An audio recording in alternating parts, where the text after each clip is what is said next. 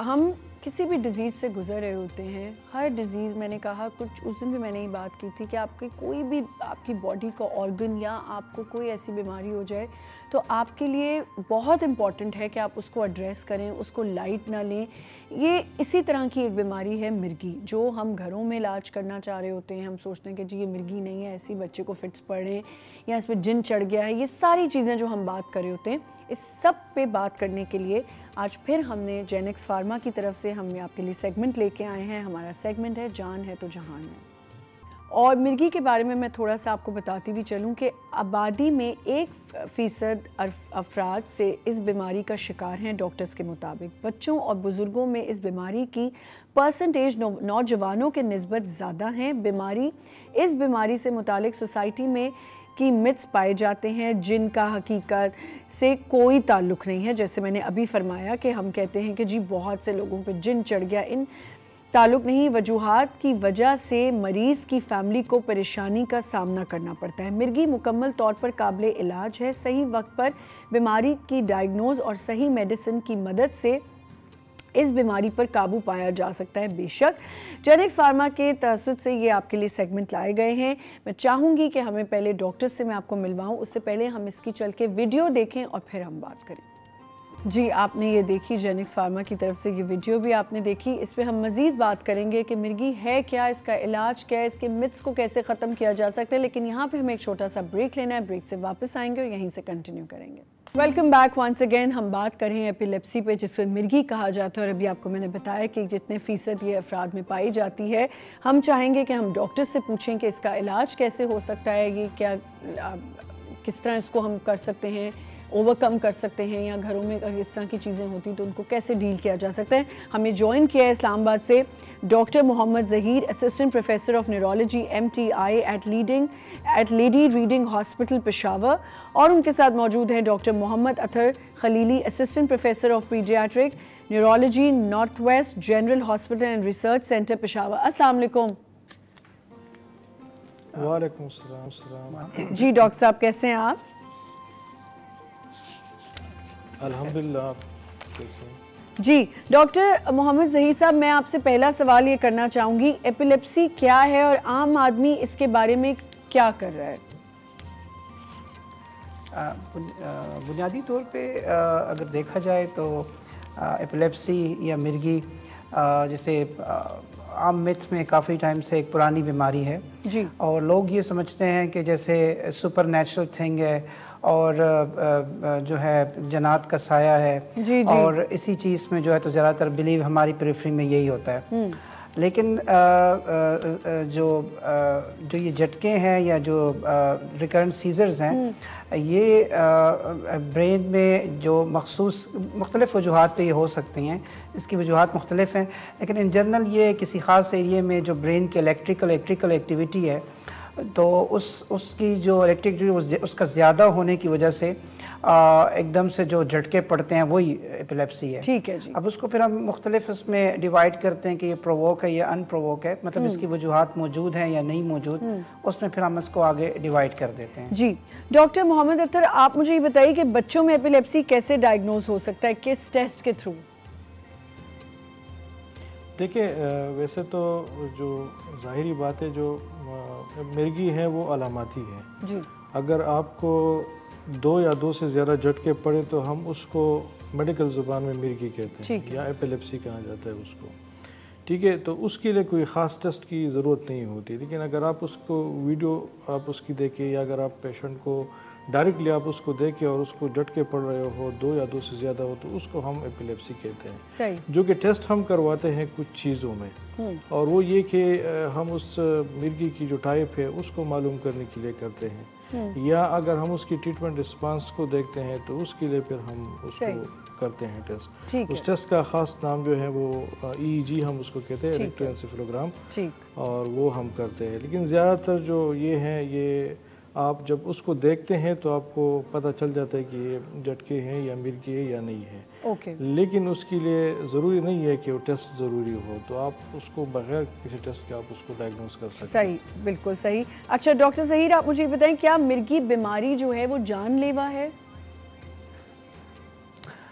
ऐसा कतई नहीं कहा जा सकता। कुछ ऐसी टाइप्स हैं जिसमें हम कहते हैं कि जानलेवा है लेकिन वो डिपेंड करता है कि अगर मरीज़ आपके पास ऐसी सूरत हाल में आए कि उसने एस्परेशन कर ली है मतलब उसको झटका पड़ा और उसने अपना वोमिटस या जो है तो वो उसको एस्पायरेट कर दिया उसको निगल लिया और वो लंग्स में चला गया। ऐसी कंडीशन में जो है तो हम कह सकते हैं कि ये जानलेवा है। इसके अलावा एक दूसरी टर्म होती है जिसको हम S C O D E P कहते हैं जिसमें कि सडन डेथ्स रिपोर्ट हुई हैं हम्म। कुछ एपिलेप्सी के मरीज़ों में। लेकिन इन जर्नल अगर हम कहें तो हम ये नहीं कह सकते कि ये एक जानलेवा मर्ज़ है। इसको हम ये कहते हैं कि ये एक कंट्रोल ट्रीटमेंट है। यानी ये नहीं है कि हम ट्रीटमेंट दे के इसको ख़त्म कर देते हैं लेकिन दवा लेके ट्रीटमेंट लेके हम इसको बेहतर लाइफ में बेहतर ज़िंदगी गुजारने के काबिल बना सकते हैं। सही। डॉक्टर साहब इसी के साथ मुझे ये भी बताते हुए चलें कि देखें कभी ऐसा होता है कि एक दफ़ा फिट पड़ा ठीक है और फिर फिट्स नहीं पड़े तो क्या। एक दफ़ा फिट में पड़ने पे भी क्या हमें डॉक्टर को फ़ौरन दिखा देना चाहिए? जी जी। अगर किसी ऐसा कोई ऐसा मरीज़ है जिसको पहली दफ़ा झटका पड़ता है जी। तो अमूमन करना ये चाहिए कि फ़र्स्ट फिट के बाद डॉक मॉलेज हम्म। को दिखाना ज़रूरी हम्म, है। हम्म। क्योंकि उसमें ये होता है कि इन्वेस्टिगेट किया जाता है कि झटका पड़ा किस जैसे अब डॉक्टर साहब बेहतर बता सकते हैं डॉक्टर अतर मेरे साथ कि जो बच्चों में ज़्यादातर पढ़ते हैं वो फेब्राइल फिट्स होते हैं बुखार के साथ जिसकी ब्रेन में कोई जिसकी ब्रेन में कोई बहुत बड़ी रीज़न नहीं है। लेकिन हमें दिखाना इसलिए ज़रूरी है कि हम कुछ ख़ास टेस्ट वगैरह कर सकें और उसकी वजह की तरफ़ जा सकें। ठीक है। इसके अलावा आई एल की जो न्यू डेफिनेशन हैं उसमें वो यही कहते हैं कि अगर एक बंदे को फिट्स पड़े हम्म। और मॉलेज को ये लगे कि 60 परसेंट चांसेस ये हैं कि उसको नेक्स्ट फिट पड़ सकता है ना तो तब आपको उसका इलाज शुरू कर देना चाहिए। ठीक है। डॉक्टर साहब आप थोड़ी रोशनी डालना चाहेंगे कि अगर बच्चों के साथ ये हो रहा है एक दफ़ा फिट पड़ा है तो उसको कैसे हम जो है कि कब तक मेडिसिन दे सकते हैं ये भी बता दीजिएगा। उसके लिए जो है वो चार पाँच चीज़ें हैं जिसमें हम वो देखते हैं। सबसे पहले तो ये है कि उसको न्यूरोलॉजिकली दिमागी तौर पर हम बच्चे को देखते हैं कि उसको कोई डैमेज तो नहीं हुआ से कोई मजूर तो नहीं है। तो उसी सूरत में फिर आप उसको दवाइयाँ शुरू कर सकते हैं। दूसरी सूरत में ये है कि अगर आप उसको क्लिनिकली देखें और उसी दौरान इस हम्म। बच्चे को दिमाग पे कोई असर पड़ा है हम्म। या उसकी जिसम पे कोई असर पड़ा है तो उस पर हम शुरू कर सकते हैं तीसरा ये कि कभी कभार बच्चों को रात को सीजर्स होते हैं अच्छा। तो उसी सूरत में हम शुरू कर सकते हैं चौथा ये है कि अगर उसकी हम इमेजिंग कर दे जिसमें हम एमआरआई वगैरह करते हैं ब्रेन की या अगर हम उसकी जो टेस्ट ई हम करते हैं उसमें कोई फाइंडिंग्स या उसकी कोई वो हम्म। आ जाए तो कोई एबनॉर्मलिटी आ जाए तो उस बेस पे हम उसमें शुरू कर सकते हैं। तो नॉर्मली अगर एक दफ़ा सीजर्स हो बच्चे में तो उसमें हम अमूमन अगर सारी चीज़ें नॉर्मल हो तो उसमें हम पेशेंट को एडवाइस करते हैं पेरेंट्स को भी काउंसल करते हैं और उसके लिए वेट करते हैं। ठीक है। डॉक्टर साहब डॉक्टर साहब मुझे ये बताएँ कि मिर्गी जैसे आपको दौरा पड़ा है तो इमीडिएटली हम क्या फ़र्स्ट एड ले सकते हैं? इमीडिएटली जैसे ही मिसाल के तौर पर घर में किसी को अगर झटका पड़ गया तो सबसे पहले तो आ, अपने आप को कूल एंड काम करना है, है। जो ज़्यादातर सबसे बड़ा मसला ये होता है कि पेशेंट से ज़्यादा जो अटेंडेंट्स हैं वो एनशियस हो जाते हैं वो पैनिक हो जाते हैं। तो सबसे पहला जो स्टेप है वो ये है कि ख़ुद अपने आप को रिलैक्स किया जाए। हम्म। दूसरा ये है कि उसको एक साइड पे करके लिटा दिया जाए। अगर वो खड़े हैं तो कोशिश ये किया जाए कि उसको एक ऐसी जगह पे साइड पे किया जाए कि वो गिर ना जाए। ठीक है? और दूसरा उसको साइड पे करने का मकसद ये है कि वो एस्परेट ना करे अपना जो वोमिटस है या कोई भी ऐसी चीज़ है जो मुँह में है वो निगल ना ले। हम्म। दूसरा जो ये मिसपरसेप्शन हैं कि आप जो है चप्पल लेके जो सुंगाई जा रहे हैं। जो भाई ये ये, ये इसकी कोई मेडिकल लॉजिक भी नहीं है और ना इसकी कोई हम्म। कोई फ़ायदा है। दूसरा कुछ लोग ये कर रहे हैं और रहते हैं कि वो मुँह के अंदर कोई आ, आ, बाल वगैरह रख रहे होते हैं। ये ये तमाम चीज़ें करने से झटका भी बढ़ सकते हैं और पेशेंट अपने आप को नुकसान और उसके साथ साथ डॉक्टर साहब ये भी तो एक है ना कि बच्चे पे जिन आ गया उसको किसी पीर बाबे पे ले गए या बड़ा कोई हो गया तो उसको पीर बाबे पे ले गए जी। जी जी सुपर और ये चीज़ें जो पहले से अब तो खैर मेरे ख्याल में किसी हद तक अवेयरनेस हो गई है लेकिन इन जर्नल अभी भी बहुत से पेशेंट अभी भी आते हैं जो कि हमसे पहले बहुत से इस तरह हो के आ रहे होते हैं जिन्होंने पहले किसी को दिखाया होता है इस तरीके से हम्म। और वो बहुत टाइम से अनट्रीटेड रह रहे होते हैं और फिर वो आते हैं तो काफ़ी हद तक ख़राब हो चुके होते हैं तो जैसे ही झटका पड़े तो ये कुछ चीज़ों की एहतियात करनी ज़रूरी डॉक्टर साहब इस पर मजीद बात करेंगे। आप हमारे साथ रहे। यहाँ पे हमें एक छोटा सा ब्रेक लेना है। अगर आप कुछ एपिलेप्सी के बारे में जानना चाहते हैं, आप हमें कॉल भी कर सकते हैं। एक छोटा सा break will be right back welcome back once again हम एपिलेप्सी पे बात कर रहे हैं, जिसे मिर्गी कहा जाता है, और हमारे डॉक्टर्स ने हमें बड़ा अच्छा एक्सप्लेन किया कि आप क्या क्या कर सकते हैं। लेकिन इसमें सबसे ज़्यादा ये होता है कि जो अभी डॉक्टर साहब ने कहा डॉक्टर जही ने, कि बच्चे से ज़्यादा हमारे घर वाले हम आपस में सब पैनिक हो जाते हैं। जिस जो पेशेंट होता है, वो शायद उसको समझ ही नहीं आ रही होती, उसके साथ हो क्या रहा है। डॉक्टर अथर, मैं जानना चाहूँगी कि बच्चों को जब फिट्स पढ़ते हैं तो उनको आप एक तो बताएँ कि बढ़ते किस चीज़ से हैं? क्या चीज़ें हो रही होती हैं जिससे फिट्स की जो है वो ड्यूरेशन या फ्रीक्वेंसी बढ़ जाती है? ये बहुत अच्छा सवाल है। बेसिकली जो चीज़ है एक तो सबसे पहले है कि कुछ चीज़ें हैं जो आप जो आप एहतियाती तदाबीर करते हैं। हम्म। अक्सर अवकात हमारे पास जो पेशेंट आते हैं उनको जब हम दवाइयाँ देते हैं तो वो बाकायदगी से वो नहीं लेते। ठीक।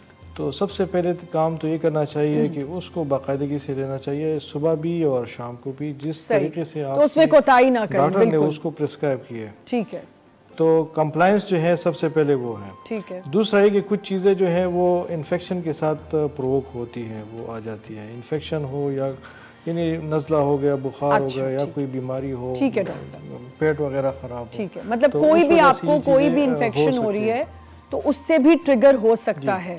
ठीक है। जी जी जी। सही। ठीक है डॉक्टर साहब।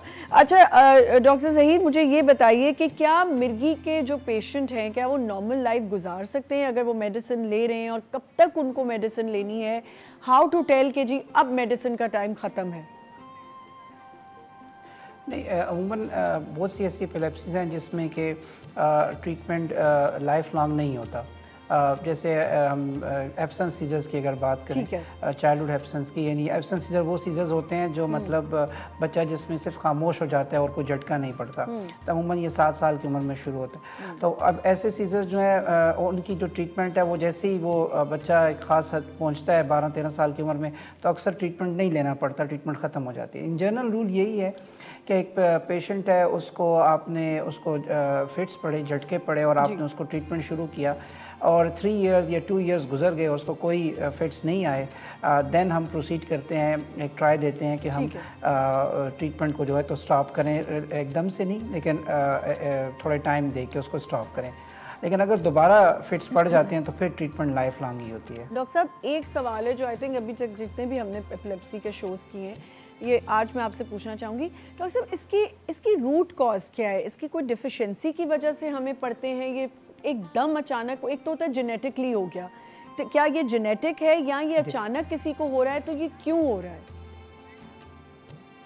डिपेंड करता है कास्ट पे। जिस तरह एक आपने बता दी खुद ही कि एक जेनेटिक कास्ट है एक तो ये हमारे पास कुछ कुछ जेनेटिक एपिलेप्सीज हैं वो तो एक अलग है। दूसरा जैसे आप किसी को आ, कोई बच्चा पैदा हुआ वो नॉर्मल डिलीवरी से नहीं हुआ था आ, हम्म। कोई इंस्ट्रूमेंटल डिलीवरी थी मतलब फोर्सेप डिलीवरी हो गई है इस तरीके से। उसने ब्रेन के ऊपर जो है थोड़े टाइम के लिए उसको हैपोक्सिया किया ब्रेन को ऑक्सीजन नहीं पहुँची। ब्रेन के कुछ खास एरिया मुतासर हो गया और बाद में वो एरिया जो है वो इलेक्ट्रोजेनिक हो गया। मतलब वो एरिया उसके ऊपर जब करंट्स ज़्यादा जब आती हैं वो झटके की बास बन गई। इसी तरीके से कुछ ऐसी स्पेसिफिक बॉडी में केमिकल्स हैं मेटाबॉलिक जो एपिलेप्सीज हैं वो ना होने की वजह से एपिलेप्सीज पड़ गई। इसी तरीके से एडल्ट ऑनसेट में हम देखें तो फिर मुख्तलिफ़ वजूहत आ जाती हैं जो कॉज डिफरेंट हैं। केमिकल हैं खुद स्ट्रोक जो है फालिज जो है उसके साथ स्कार रह जाता है वो भी जो है आपको फिट्स दे सकता है।